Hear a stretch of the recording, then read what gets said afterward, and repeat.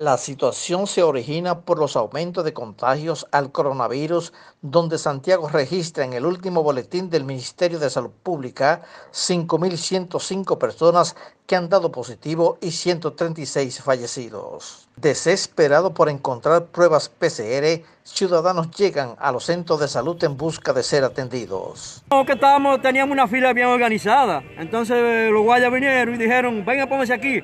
Entonces dañaron la fila, todo el mundo se metió todo adelante. El mundo corrió, se Ahora estamos amontonados aquí que no sabe cuál es el delante y cuál es el, cuál es el primero y cuál es el último. La imprudencia de nosotros los dominicanos. Estábamos todos en orden, todos en orden.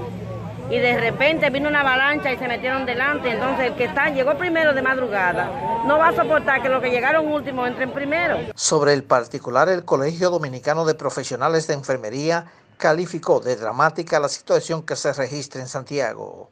Pero miren esta muestra, donde se ha anunciado realizar pruebas para la población buscando frenar esta pandemia. ¿Qué va a salir de aquí? El aumento de casos positivos.